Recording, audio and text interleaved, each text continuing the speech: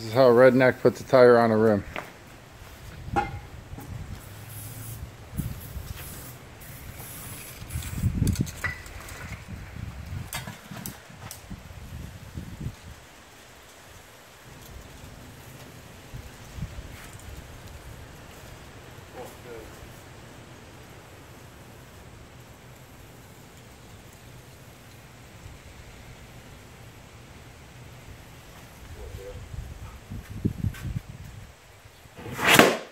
Is.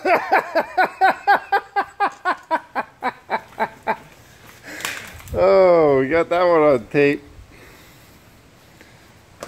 She sucked the tire back in. You gotta get some air in it.